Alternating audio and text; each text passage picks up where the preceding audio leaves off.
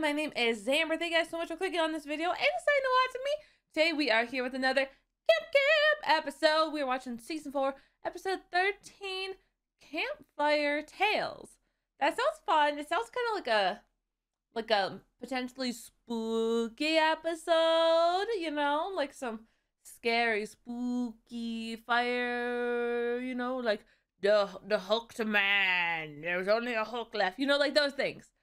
Um, which would be fun. I'd be curious to see what this episode is about. But of course, everybody, please keep in mind to support the official release of Camp Camp over on the Rooster Teeth website. That is the best place to watch it. And without further ado, let's get started. I couldn't have asked for a nicer night. When I feel like this, there's no better way to pass the time than telling a few spooky stories. Yeah, spooky scary. If scary. you can handle it. That's precious. You're like a marshmallow in human form. Wait, ah! does that mean we're cannibals if we make s'mores? Cool! You'll just Huh. have to see what you think after you hear my story. Okay. That was rather fitting to put the intro there. I know it sounds hard to believe, but guys and gals, it's true. Camp Campbell is the place for me and you. We'll lakes and climb up trees, catch fish, bugs, bears, and honeybees. There's endless possibilities, and no, that's not hyperbole. Our motto's and that means I'm telling you. We've got archery, hiking, search rescue, biking, horseback, I've trail, sing from a heart never practiced this.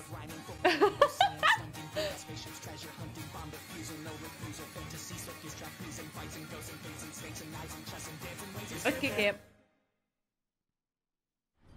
It was on a night like this when a few teenagers went on a fateful joyride. Ooh. Watch out! Oh, quartermaster, no. Well, let's dispose of his body. But don't worry, my father is a billionaire, so we'll all still get into Harvard. Oh, But mm. wait, if we don't help him, all his organs could fall out. Also, covering up a crime would totally ruin my five-year plan. Fine. we can do the right Okay. Wanted to thank you all. Many a folk would have left me for the raccoons. Take this tome of arcane wisdom Oh. and enjoy. I'm late for my coffee date. Can okay. you get rid Good of that? luck. Wasn't wearing anything under that cloak. Yuck. Also, reading expands your mind. I think we can learn a ah! lot from someone with his age and wisdom. I really like their outfit. Nikki's is really cute. I like it. Oh boy.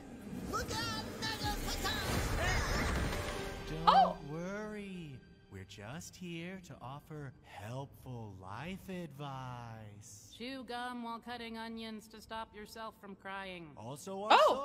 souls can't rest until you Really? complete an important Wait, no, but like, is that What true? can we do, respected elders? Clean your I don't cry too much, but, like- Hooray! I've always wanted to be tidy. I can invent an organizational system, just like Melvil Dewey.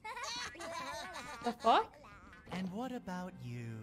Eh, I don't want to clean my room. What if I said, please? You've convinced me. So that's why you should be kind to strangers. Listen to your elders. David. Always say please. David. I thought it was supposed to be a spooky story. What's spookier than not saying please? Oh my gosh. Why don't you tell us a story?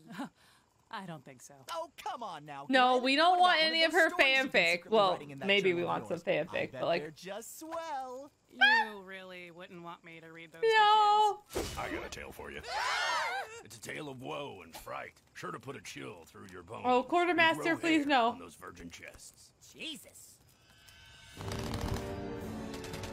Oh, really? You were alive during those times? Blimey, these Jerrys have us outnumbered. But nothing is impossible when I have trusty Righty here.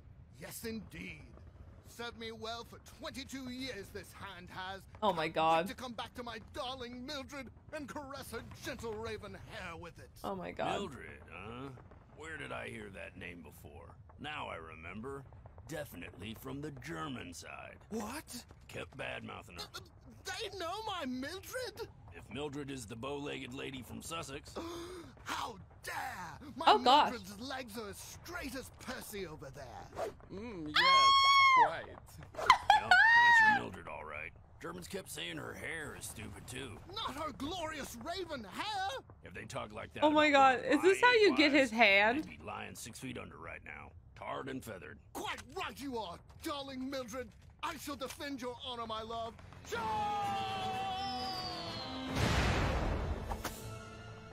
Huh. This body's coming along nicely. Still looking for Lefty. I feel like this raises more questions than it answers. Yeah, I would You, agree. Maybe. Did I hear something about tales of intrigue? Why are you here? Why are you here? No! Go away! We told you we don't want you here! Okay, away I go. With my story. Once upon a time, there was a very good boy who always tried his best. And that's the Uh-huh. plan, Min. Any questions? My narcolepsy acted up and I missed pretty much all of that.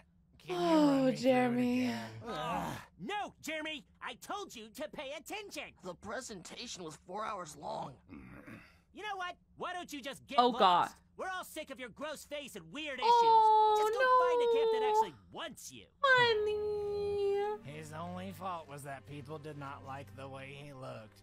It was hard for him to find acceptance. Ew! What are you doing Oh out here? Sulking in a mire of despair. What looks like yours? I can't say I blame you. Lucky for you, we're experts at makeover. Oh gosh. Oh no. I don't I don't know about this, girls. I I advise against this. Girls, please. You guys look soup's gorge. Is it my turn for a glow up now? Oh, right. We forgot. It's okay, gals. I've seen enough teenage romance movies to know exactly what to do. Watch. Oh no. Did it work? Oh no! The boy was feeling hopeless and lost. no. Then he remembered a note his mom I feel so him. bad. Dear Jeremy, always remember how proud we are of you. Your father and I love you very much. Oh. No matter how hard things get, you will always have your family supporting you. And suddenly, he remembered he already belonged to a camp that loved him. Huh. Then he got hot. Look at those guns. Are you doing anything later? Or Oh my gosh. I would have been kinder to him if only I'd known he'd turn out to be such a beefcake. oh yeah. Twerk I like that the underwear still is like showing. Now it you, is my turn to spin un spooky and also kooky yarn.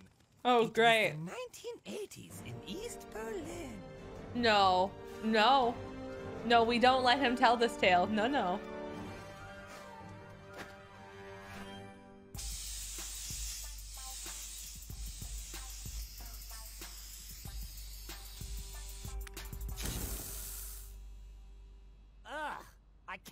That pretentious art with a message crap.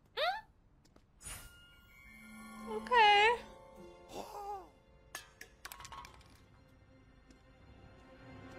Nine, nine, please don't erase me. Holy Schlitterbahn! You're alive? Of course I What am. is happening? I am a creation of your genius mind come to life. My genius mind?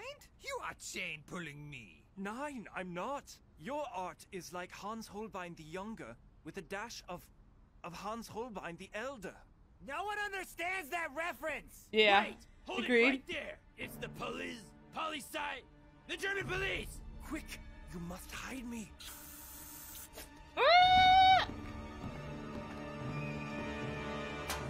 What the scheisse?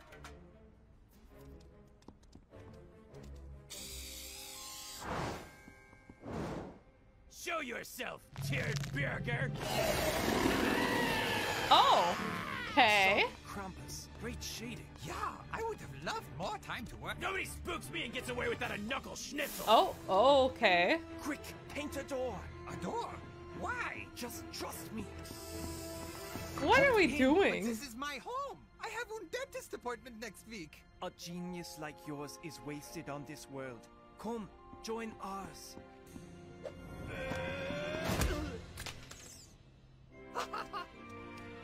Are you fucking kidding me? Yeah. Uh. It's just a wet dream where you have friends and people care about your stupid art. Well, I typically relish the squeal of a little piggy, I must say I felt a real connection to that law enforcement officer. Oh my gosh.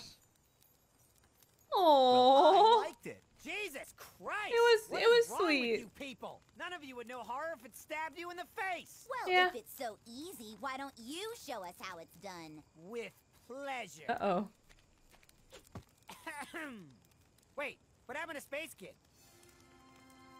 Space Kid? Um. Maybe he just. Hey, hey! Calm down. Everything, everything's fine. Um. Is it? David, is that you? Good morning, campers. What the fuck was that? was keep running. Oh, Dickie, no! What the fuck? What the fuck is this episode? Neil? Neil! Uh oh.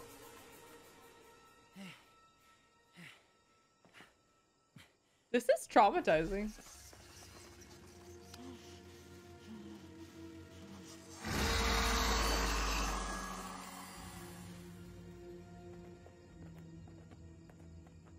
Oh, from the back. Oh no. Oh.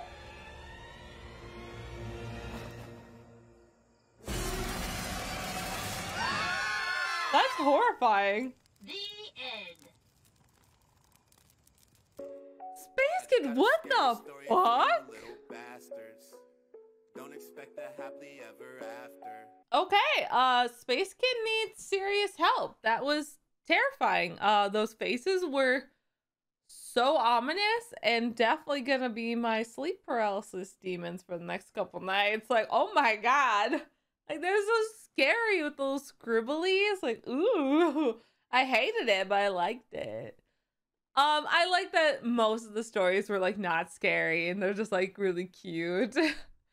Um, Dolph's was probably my favorite just because of just like him afterwards, just like like staring up into the sky. like maybe just wants a friend, like only once. Like that's so wholesome. but overall, I I liked it. It definitely was better than episode 12 where we wolf died. Never gonna get over that. Um, but this is nice. It was uh subtle, it was just like chill. I like like the spooky stories. It was it was good. It's exactly what I was hoping this episode would be. I like that it was just like everyone didn't have a good one and then suddenly Space Kid just like had a good one, which is probably the most terrifying part of it all. I wouldn't mind like getting more of this kind of episode in the next season like like another campfire tale. I know there's no confirmed next season but if they did i wouldn't mind having just like a campfire tale episode as like the staple of every season going forward if they would do more.